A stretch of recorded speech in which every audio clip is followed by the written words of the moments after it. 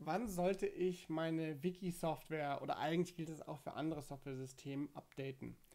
Ähm, das ist eine Frage, die uns häufig gestellt wird und die man gar nicht so einfach beantworten kann. Ja? Ähm, viele Unternehmen, die ähm, erfolgreiche kommerzielle Firmenwikis herstellen und auch Open Source ähm, Communities, bringen relativ viele Updates und Upgrades für Firmenwikis heraus. Und diese Upgrades sind ähm, dann sozusagen verfügbar. Ich kann die downloaden, muss aber meine bestehende Instanz aktualisieren. Das erfordert einen gewissen Aufwand. Und ähm, die Frage der Kunden ist jetzt häufig, soll ich das machen oder lohnt sich das nicht? Und die erste Frage, die man sich stellen sollte in der konkreten Situation ist, was für Funktionalitäten bringt denn das neue Update? Sind da ähm, äh, Dinge drin, die für Sie wichtig sind, die Ihnen Wert stiften, die in Ihrem Unternehmen gebraucht werden können? Haben Sie das mal ausprobiert? Ähm, äh, funktioniert das so, wie Sie das brauchen im Unternehmen? Ähm, also wie groß ist der Nutzen durch das Update? Teilweise ist es auch so, dass Sie ähm, Sicherheitslöcher gestoppt haben und sie die für sich als relevant ansehen und dann sollten sie sozusagen aus Sicherheitsgründen ein Update durchführen. Ähm, wenn es ein großes neues Release gibt, also ein Major-Update, dann äh, sollten Sie auf jeden Fall auf den ersten Patch, also so eine Art Flicken, äh, warten. Denn große Neuerungen in einer Software ziehen häufig auch zahlreiche kleine Fehlerchen nach sich. Ähm, ein gutes Beispiel zum Zeitpunkt dieser Aufnahme hat der Hersteller Atlassian die Software Confluence 3.5 rausgebracht.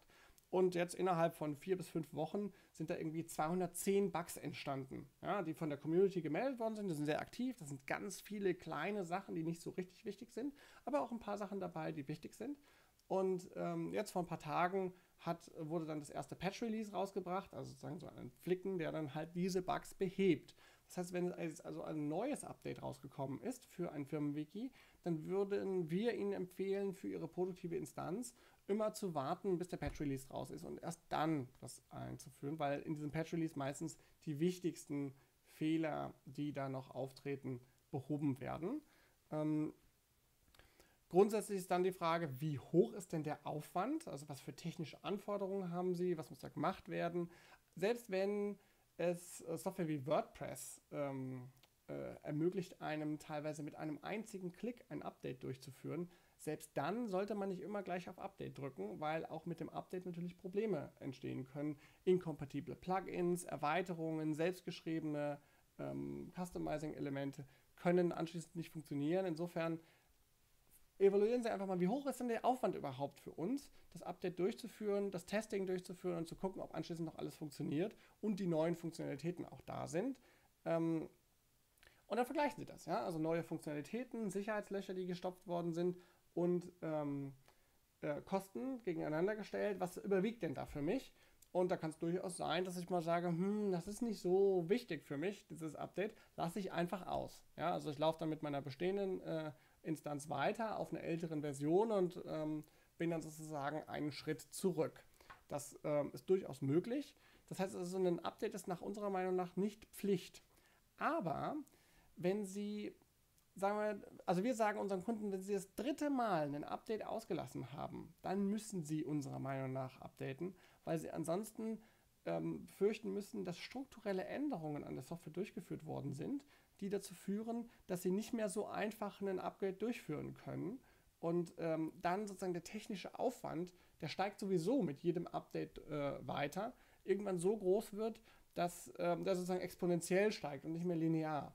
Und auf diese Weise ähm, dann eine weitere Auslastung einfach gefährlich wäre und äh, dafür sorgt, dass sie sozusagen mit dem System eher ins Stocken geraten. Insofern, jedes dritte Update sollten Sie unserer Meinung nach durchführen ähm, man muss nicht jedes Update durchführen. Die Frage ist immer, was steht in den Release Notes, was wurden für Änderungen durchgeführt, was für neue Funktionen gibt es, sind die für Sie interessant, sind Sicherheitslöcher gestoppt worden, die Sie auf jeden Fall auch bei sich im Unternehmen gestoppt haben wollen. Und anhand dieser ähm, Nutzen ähm, Evaluation sollten Sie das mit Ihren Kosten vergleichen und dann eine Entscheidung treffen. Ähm, das ist unsere pauschale Empfehlung zum Thema Updates von Unternehmenswiki-Systemen. Alles klar. Danke. Tschüss.